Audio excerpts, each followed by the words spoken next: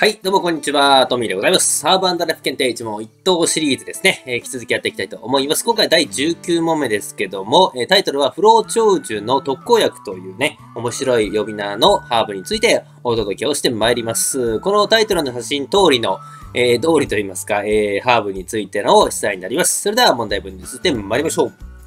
はい、今回問題です。中国では不老長寿の特効薬と言われ、オレンジの数百倍ものビタミン C を含むとされるナス科の赤い実のハーブは次のうちどれでしょう？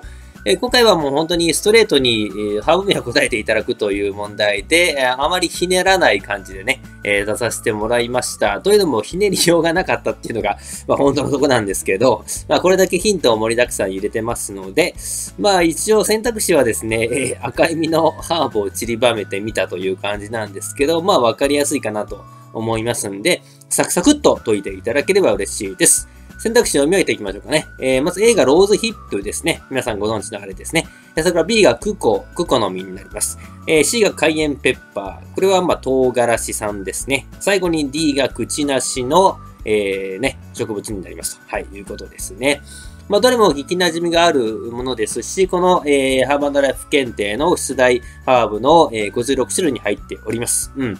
まあまあ、あの、答えやすい問題ではあるかなと思いますけどもね、えー、どれもヒントに問題文中に書いてますので、あの、タイトルの写真を見て、えー、いただければそれがズバリ、えー、正解にはなるんですけれども、まあ、こういった、えー、わかりやすいハーブもね、出題されやすいので、葉っぱ系のハーブが多い中で、えこういう実の、え実というかね、え楽しい、え形の植物っていうのは、まあ、割と出題する方もしやすいと思いますんで、ぜひ覚えておいてほしいなと思います。それでは答えいきましょう。答えはもちろんですね、B のクコの実になります。はい。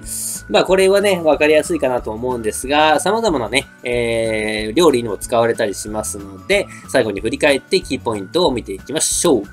はい、えー、好み、こんな感じの写真になりますけども、まあ、中国の、えー、中国雰囲気というか、えー、らしいですね、これは。はい。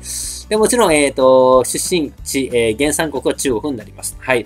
えー、不老長寿の妙薬、えー、特効薬と言われておりまして、疲労回復ですね。あとはアンチエイジングにも効果が、あの、非常にあるということで、まあ、すごくこう、栄養素的にも高いということなんですね。まあ、赤い意味ですので、えー、映えるというところもあるんですけども、映えプラス、えー、効果もあるということです。で特にですね、ビタミン C が豊富に含まれておりまして、この点はまあローズヒップなんかと同じですかね。はい。えー、それからミネラルですね。鉄分とかカリウム、えー、カルシウムも豊富に含んでいるということで、まあ、非常に、デザートなんかには使われやすいですね。はい。杏仁豆腐であったりとか、その辺にもデザート類に非常によく使われております。あとは、えー、料理としては下に書いてますけども、若葉は天ぷらやおひたしにもできますと。はい。